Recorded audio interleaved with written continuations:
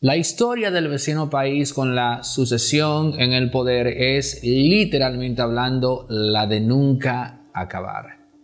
Ariel Henry tenía que entregar el mando de, en función de ser primer ministro ahora, pero en ningún momento dijo categóricamente que eso iba a pasar. Al contrario, se aferró a la típica excusa de que se iba a entregar el poder cuando se den las condiciones para hacer un proceso electoral y para tal proceso se necesitaba resolver el tema de la seguridad en el vecino país. Yo le pregunto en términos categóricos al primer ministro Ariel Henry, ¿cuándo ese país ha sido seguro? Bueno, tal vez en su época dictatorial, pero en su época democrática, la realidad es que la seguridad en sentido amplio ha sido intermitente. Y cuando yo digo que en el vecino país, en aquel que hace frontera con República Dominicana, la seguridad ha sido intermitente, estoy siendo en verdad generoso. Y de hecho, si se quiere, hasta estoy siendo complaciente. Sin embargo, en sus declaraciones hay un grado alto de malicia que pretende involucrar directamente a República Dominicana y por ende a este gobierno en el conflicto. Cuando Ariel Henry habla de la necesidad de resolver el tema de la seguridad, él no se está refiriendo a las tropas kenianas, que a razón de la ausencia de los benditos 200 millones de dólares que faltan para completar el presupuesto de ocupación, no termina por ejecutarse. No, señores, abran los ojos. Hacia donde Ariel Henry está apuntando con el tema de la seguridad es hacia República Dominicana. Porque él sabe perfectamente que al único país que le afecta el tema de la seguridad es a nosotros. A ese país no le puede afectar más de lo que ya le afecta porque la ha padecido porque la está viviendo constantemente, esa crisis de seguridad. Ahora, nosotros no tenemos ese problema.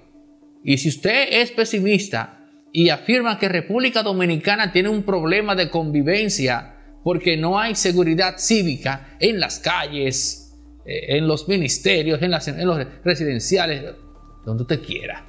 Bueno, usted tiene que ser entonces, a mente pesimista, tiene que ser realista. Bueno, si hay problema de inseguridad en RD, nunca a nivel del vecino país.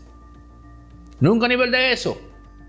Pero, de todas formas, no se puede decir que en República Dominicana hay problemas de inseguridad. No cuando usted lo compara con otros países. Entonces, ¿qué es lo que ocurre, señores? Ariel Henry está tratando de yo no sé si decir extorsionar a República Dominicana. No sé si sea esa la palabra. Ahora, lo que él está buscando es un apoyo externo. Y a sabiendas de que ese apoyo él no lo va a obtener de la comunidad internacional, y tomando en cuenta que a República Dominicana, por más desorden que haya, eso lo sabe Luis Abinader, el presidente, lo sabe el ministro de las Fuerzas Armadas, por más desorden que haya. Mejor con Ariel Henrique sin él. Él lo que está buscando con esto, señores, es que de alguna manera República Dominicana se manifieste en favor de que Ariel Henry permanezca ahí en el poder. Naturalmente, entiendo que en RD ni el canciller ni el presidente son bobos. No van a ser estúpidos para, para caer en ese juego. Ahora, usted dirá, pero ¿cómo él no puede entender que Luis Abinader está por encima de eso? Y que el presidente es mucho más de ahí y que no va a caer en esa trampa. Y ahí es usted el que tiene que comprender lo siguiente. Él está desesperado. Ariel Henry está desesperado está como se dice con la soga al cuello.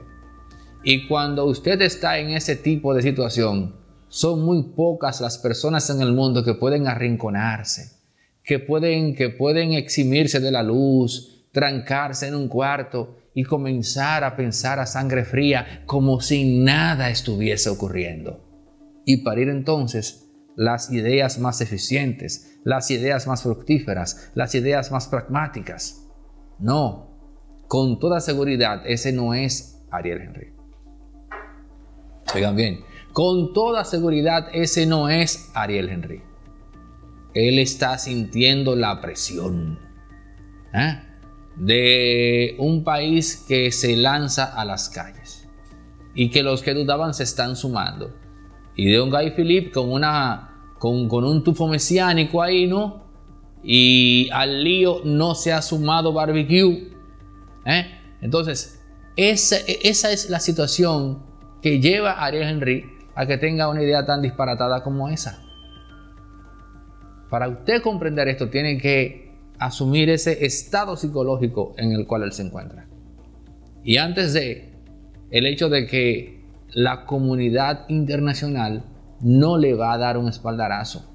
Y sin embargo, eso es precisamente lo que él necesita, un espaldarazo. Entonces, si la comunidad internacional no me lo va a dar, yo tengo que mirar hacia el único país que realmente se verá afectado en lo inmediato con esto. ¿Cuál es? República Dominicana. Y ahí entonces usted comienza a comprender las patadas de ahogado, como dicen en buen dominicano, la patada de ahogado que está, que está dando ahora mismo el primer ministro del vecino país, Ariel Henry. Resorte Media es también productora audiovisual y aquí tenemos espacios eh, rentables para producir contenido pero también si tu empresa tiene una actividad fuera y va a hacer una transmisión en tiempo real, puedes contar con Resorte Media. También si necesitas alquilar equipos para filmaciones de películas o eventos, tenemos grúas de 40, 20 pies. En fin, otra cosa, artista independiente que tiene que hacer un videoclip en calidad 8K 6K eh, con imágenes eh, de stock, bueno, pues lo podemos hacer acá en circuito cerrado con los presupuestos más competitivos. Pero si también eh, requieres asesoría para la producción de contenidos en plataformas como YouTube, también puedes contar con nosotros. Resorte Media, todo lo que necesitas en todos los ámbitos cuando se trata de producción audiovisual. 829-741-3061. Con la promesa de que él iba a boicotear la alianza. Vamos a hablar claro. Bien. Desde el principio vimos a Danilo boicotear la alianza, desde el principio. Y Abinader fue soltando uno a uno a su gente, condicionalmente, ¿ah? porque tienen sus procesos abiertos. Entonces, ¿qué pasa? Hace unos cuantos meses, aún hace unos cuantos meses, se veía un PRM sobrado para ganar las elecciones. Entonces, por eso yo decía que cuando, cuando mandaron a Peralta a su casa, cuando mandaron a Alexia a su casa, cuando mandaron a Gonzalo a su casa, estas personas, incluyendo Gonzalo, tenían claro de que, bueno, eh, el PRM puede que gane las elecciones, eh, lo que me conviene es estarme bajo perfil, especialmente Gonzalo, estarme bajo perfil y esperar entonces que este acuerdo entre Danilo y Gonzalo, eh, Danilo y Abinader, bueno, pues se cumpla, Abinader gane y le cumpla la promesa a Danilo Medina de ya liberarnos totalmente de este proceso, ¿no? Porque en ese momento el PRM, vuelvo y repito, en ese momento y no hace mucho tiempo, se veía favorito para ganar las elecciones. Entonces era como la mejor apuesta para Gonzalo eso. Ceñirse al plan de Danilo mediante, mediante la negociación que tenía con eh, Abinader. ¿Qué pasa? Hoy en día las cosas se han estrechado demasiado Ahora no se sabe muy bien qué va a pasar. No se sabe muy bien. Lionel sigue creciendo, El PRM sigue cometiendo errores todos los días, todos los días, sigue bajando, bajando en las encuestas. Entonces, ¿qué pasa? Gonzalo dice, bueno, ¿y si no gana el PRM?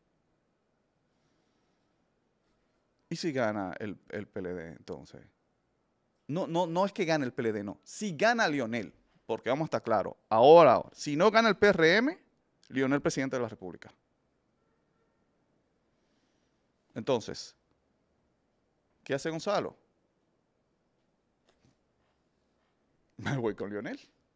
Porque si Lionel gana y yo lo apoyo de esa forma, siendo su vicepresidente, mi hermano, al otro día de Lionel ganar las elecciones, libre, toda esta gente, todos esos procesos se caen, olvídense de eso. Libres nuevamente y en el poder. Pero Danilo, Danilo no. ¿O tú crees que, tú crees que Lionel le va a garantizar a Danilo de que, ah, muy bien, los procesos contra tu hermano, Alexis, ok, eso. Señores, no, esa gente tienen, eso, esa gente tienen un, un asunto personal muy fuerte. y especialmente Danilo Medina. No, pero yo no creo que yo no creo que Danilo Medina le vaya, o sea, a Danilo Medina le vaya a ir peor que en este gobierno. O sea, Leonel no le va no lo, no, no lo va a morder, por lo menos con la con el colmillo judicial. Ahí no. Sería otra cosa. Sería quizás incumplirle otra cosa. Yo te, lo, yo te lo digo de acuerdo a, las informaciones que he recibido y así es que lo han vendido, ¿no? O sea, así que eso es lo que le está vendiendo su entorno al señor Gonzalo Castillo. Yo no creo que Gonzalo em, vaya a, traicionar a Danilo, porque es que, es que lo está haciendo, o sea, está, sigue acatando todo.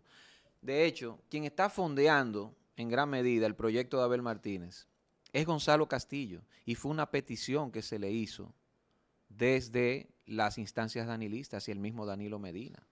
Entonces, por eso te digo que estoy de acuerdo en gran parte contigo, con tu análisis, pero hasta ahí yo no creo. Yo no creo que Gonzalo vaya a, emanciparse y a, traicionar a, a Danilo Medina. Todo eso ellos los conversan, todo ese tipo de cosas. Pero nada, señores, por ahí es que van las cosas. Eh, proponiendo, proponiendo una fórmula, eh, Leonel Gonzalo, ¿usted qué opina? ¿Cree que eso sería posible? ¿Cree que esto sería eh, más un rumor? Yo lo tengo de buena fuente. No sé si eso vaya a prosperar.